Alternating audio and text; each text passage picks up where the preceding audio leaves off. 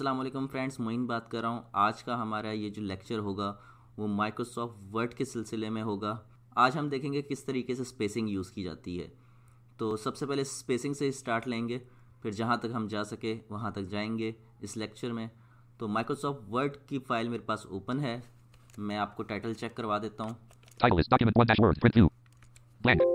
ठीक है, ये मेरे पास माइक्रोसॉफ्ट वर्ड की फ़ाइल ओपन है और आज हम सीखने वाले हैं, जैसे मैंने बताया स्पेसिंग यानी कि आपने कितना स्पेस देना है। यानी नॉर्मल जो हम रखते हैं स्पेस जो हमारा बाय डिफ़ॉल्ट होता है, वो होता है सिंगल स्पेस और उसके बाद जो है डबल स्पेस भी होता है और 1.5 स्पेस भी होता है। और भी तरीके होते हैं स्पेसिंग के। वो मैं आपको साथ साथ बताऊँगा। तो स्पेसिंग बेसिकली जगह प्रोवाइड करता है वाइट स्पेस प्रोवाइड करता है। तो वो आप अपनी मर्ज़ी से, अपने कंटेंट के हिसाब से आप स्पेस स्पेसिंग कर सकते हैं। सिंगल स्पेसिंग भी कर सकते हैं डबल स्पेसिंग भी कर सकते हैं, जितनी चाहें आप स्पेसिंग कर सकते हैं। अब विजुअली इम्पेयर्ड पर्सन के लिए ये थोड़ा सा प्रॉब्लम होता है कि उसे ये नहीं पता चलता कि कितना स्पेस हो रहा है। वो सिर्फ़ मैथ को ही जहन में रख सकता है कि ठीक है भाई 1.5 स्पेसिंग थोड़ी कम होती होगी टू से, ठीक है? डबल स्पेस से थोड़ी कम होती होगी।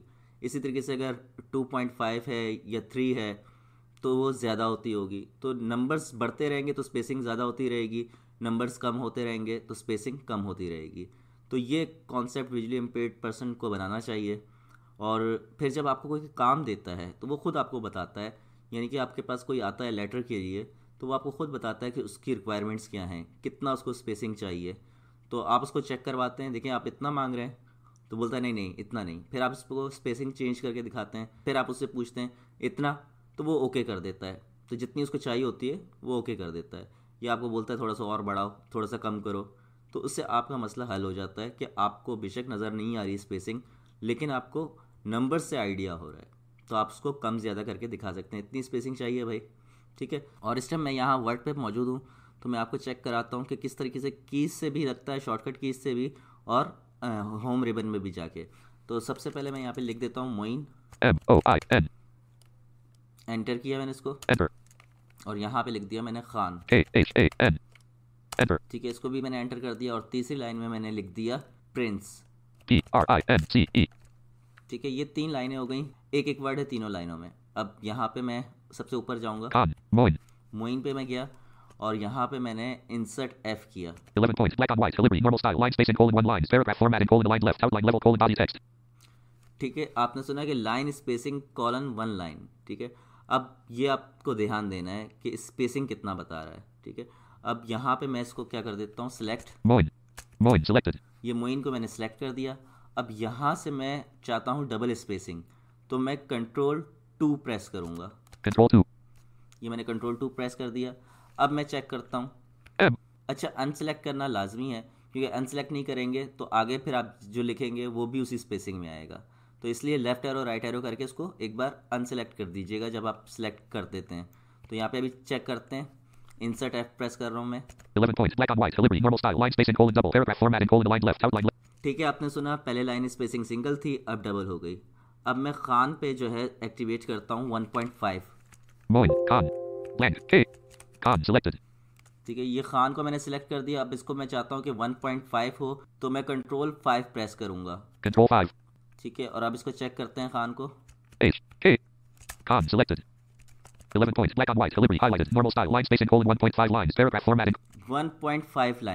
ठीक है तो ये हो गया इसका मतलब कि 1.5 स्पेसिंग आ गई है। अब मैं तीसरे पे जाता हूँ। अब इसको मैं सिलेक्ट करता हूँ इस पे मैं सिंगल स्पेसिंग करता हूँ। और कंट्रोल वन से होगी सिंगल स्पेसिंग कंट्रोल वन ये हो गई ठीक है अब मैं इसको चेक करता हूँ। R P.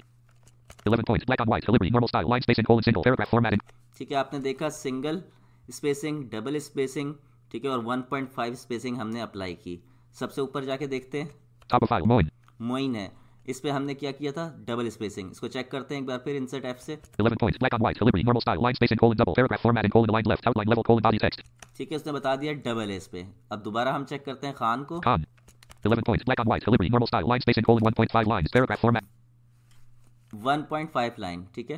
और तीसरा?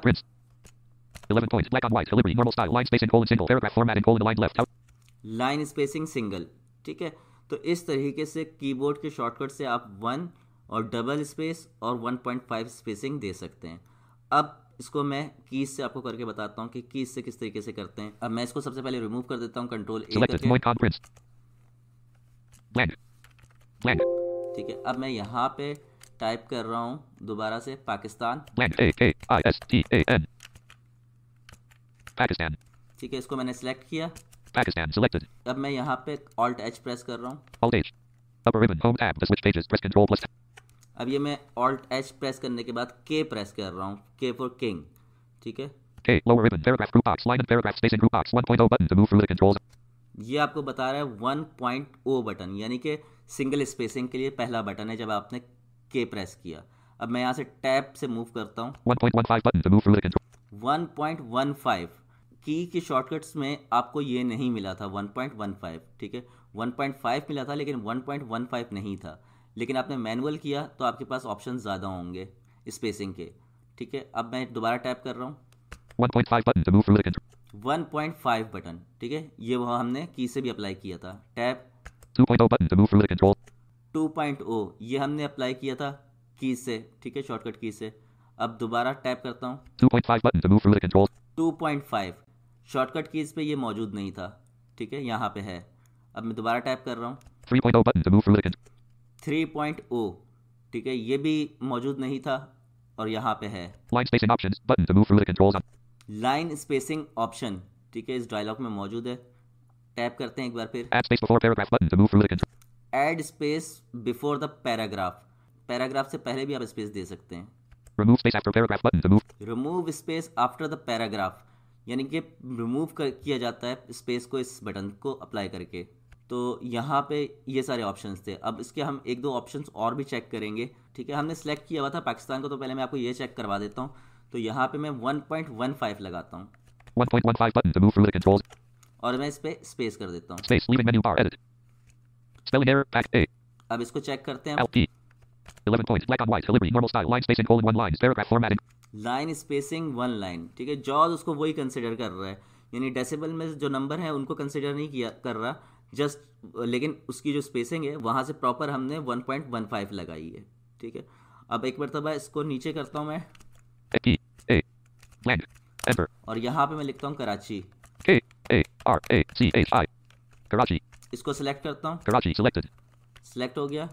और यहाँ से मैं ऑल्ट एच कर रहा हूँ। Alt H upper ribbon home tab K press किया। K lower ribbon paragraph group box line paragraph spacing group box 1.0 button to move through the controls on tap oh, कर रहा हूँ मैं। 1.15 button to 2.0 button to 2.5 button to 3.0 button to 3.0 अब मैं 3.0 पे space करता हूँ। Space leaving menu bar edit के ब्लैंक कराची अब कराची को चेक करते हैं। 11 points black on white delivery normal style line spacing colon 3 lines paragraph formatting colon line left line spacing 3 lines ठीक है?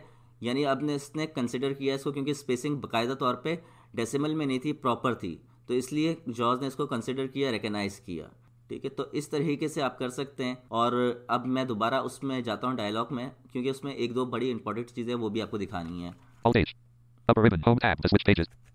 अब मैं के प्रेस करता हूँ ऑल्ट एच करके। अब यहाँ से मैं टैप प्रेस करता हूँ।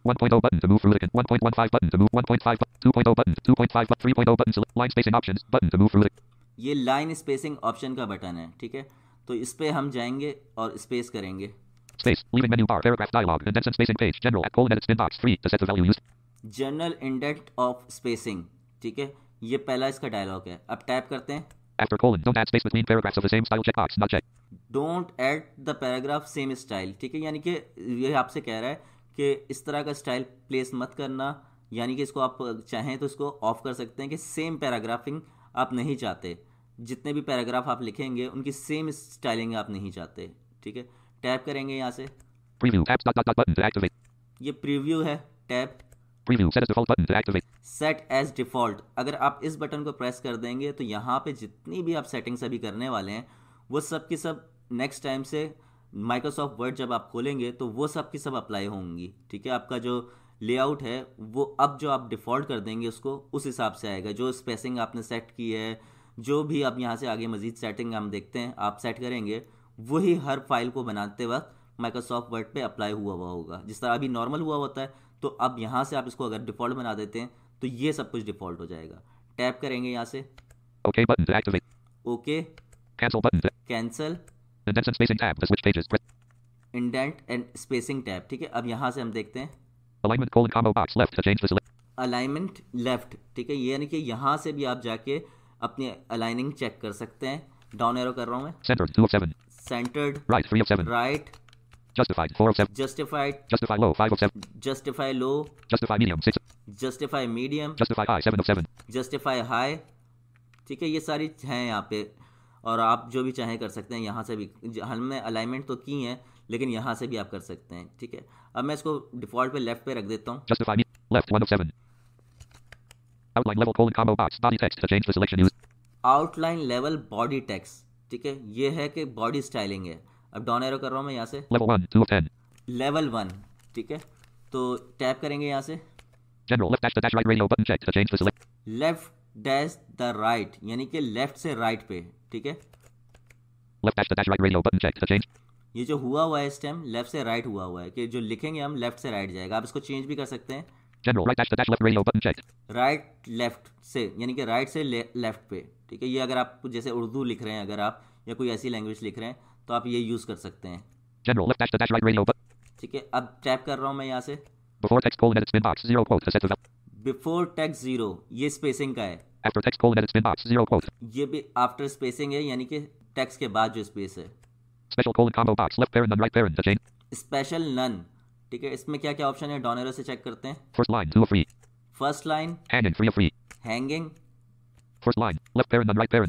नन ये बाई डिफ़ॉल्ट नन पे होता है और फ़र्स्ट लाइन मतलब ये कि फ़र्स्ट लाइन से ये स्टार्ट हो जाएगा। ठीक है अब इसको टैप करते हैं।